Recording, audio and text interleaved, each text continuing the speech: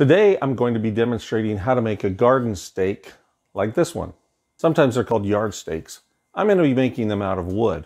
This is a great beginner DIY project for three reasons. Number one, it's easy. Number two, it's inexpensive. And number three, it's really useful. That's a pretty good combination. Garden stakes can be used in a number of ways around your garden and yard. For example, they could be used to stake out plants, cages, trellises. They could be used to stake out lines. They could be used to stake out areas. They could be used to stake out borders. I'm going to be demonstrating five ways to make garden stakes. The reason I'm doing that is just to demonstrate that you can make garden stakes using whatever tools you have on hand and using the, the materials that you have on hand. For example, I'm going to be using one by two dimensional lumber to make mine because it's what I've got and it suits my needs. But you can choose other kinds of wood, you can choose uh, other dimensions of wood, and you can choose lengths of wood, and all of this is dependent on what you need and what you have. Whatever kind of wood you select to use, I would encourage you to make sure that it can stand up to the pounding that it will take to get the stake into the ground, because that's how you get stakes into the ground, right? And they don't need to last forever, but you know, they should be able to last a few years, I would think. Now, at the end of this video, I'm going to add a few extra tips about garden stakes. So stick around. It's going to be fun. My name is James, and this is Homestyle Woodcraft. The five different ways I'm going to show you how to make a garden stake are, number one, a camp saw and a hatchet. number two, a handsaw and a miter box. Number three, a jigsaw. Number four, a compound miter saw. And number five, a bandsaw. And that's all we need to know to get started. So let's get started. Okay, I forgot something. There's only two things we need to do to a one by two to turn it into a garden stake. And the first thing is cut it to length.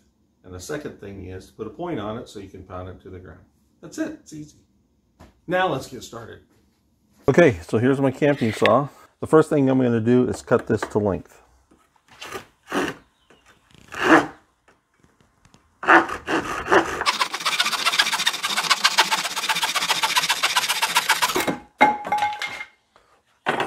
Done. Now I'm going to use my hatchet to cut a point on the end of the stake. I have a scrap piece of wood here so I don't end up chopping up my workbench top.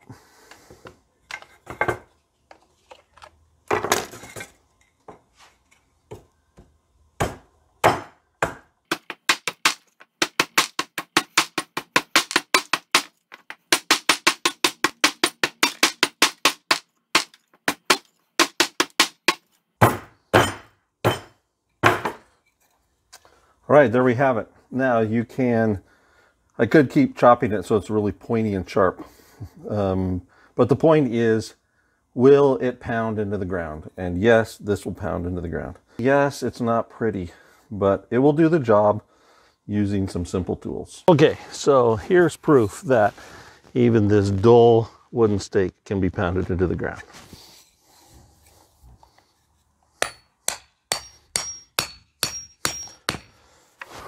Proof is in the pudding. Now we're to method number two, and that is this miter box with a handsaw. This is a handy tool. They're not very expensive, and you can do a lot of stuff with them. So we're going to first cut this to length. I'm going to tighten this down here to lock it in, and then cut it down.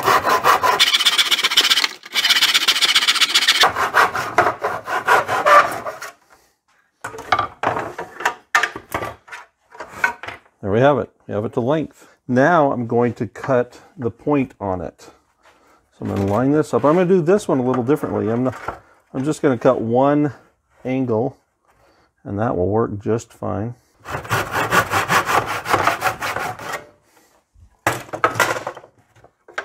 All right, there you have it. And that will go into the ground just fine. Garden stake number two. Method number three, the jigsaw. Okay, so I'm just going to mark out some lines to cut.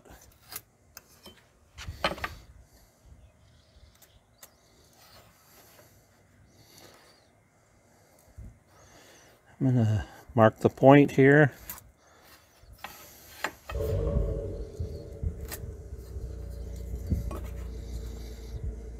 That's my neighbor's hot rod.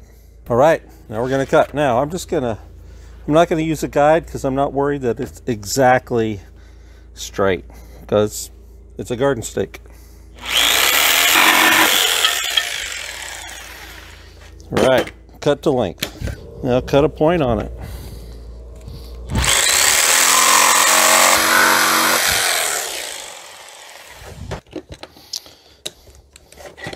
All right, so here we go.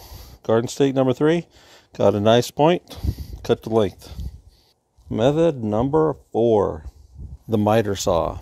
The miter saw can be used to both cut the piece to length and cut the point, but I already have a piece cut to length, so I'm just gonna be cutting the point.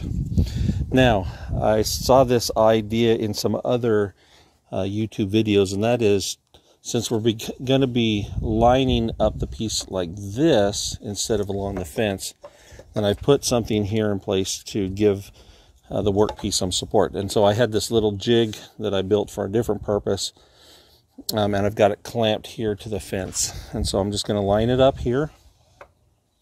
And this clamp doesn't clamp it down, but it does prevent, it will prevent it from being kicked back at me. Although I don't think that would happen because of the rotation of the blade but just as an added safety measure I put it there so I'm gonna put this here make one cut rotate it make the other cut here we go There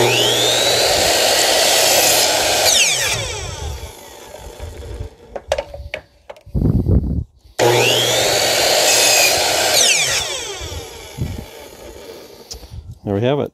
Nice clean point. We are ready for number five. So I'm going to put on my safety gear and then I'm going to cut it to length. The bandsaw is somewhat limited in how I cut the stake to length, but I can cut some and I'm going to trim a little off the end. Then I'll cut the point and we will be done with the five methods.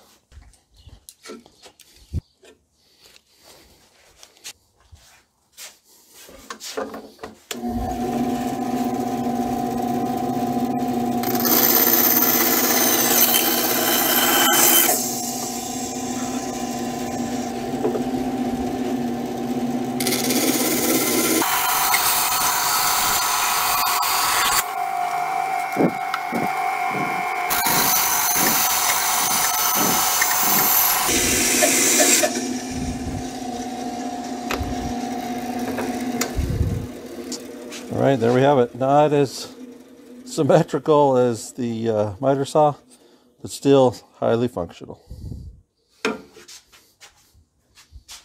As I mentioned earlier, I've been using one by two common board from the local home center, but there are other wood options that you can use.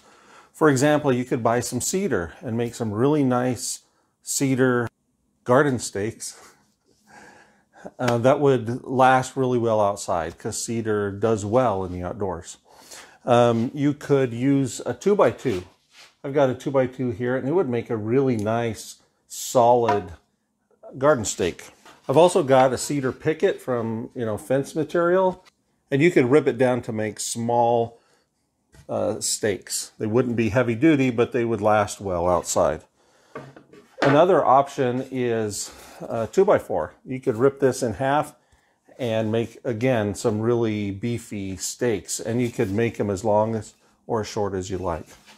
So, different woods give you different options depending on what you need. Well, I hope you're enjoying watching this video as much as I am enjoying making it. And if you are, I'd encourage you to subscribe and to hit that notification bell so that you know when I publish the video and share them with a, share them with a friend who might be interested in this kind of content. Now, I promised you some tips. So let me show you a few extra little tips about how you can maximize the use of your garden stakes. So first of all, one thing you can do, in addition uh, to what I've already shown you, is cut a little notch in the end. And that way, if you're tying string around it, it will hold it into place better. And similarly, you can accomplish something like that with a hole in the end. I drilled a hole in the end of this one, so you can run line through it. And then finally, uh, you know, make them decorative. I tried to make this one a little wavy. I'm not sure I really got there. But make it your own. Even with a garden stake, you can use your creativity to make your project what you want. You may have noticed that on some of the stakes I made, they weren't that pretty. That's okay with me because I'm pounding them into the ground and they're going to be outside and in my garden. So that's fine. But if you want to make them really nice and be extra precise and accurate, just make them really good, hey, knock yourself out. It's your project and you make them just like you want. Hey, I'm really glad you stayed and watched. We'll see you next time.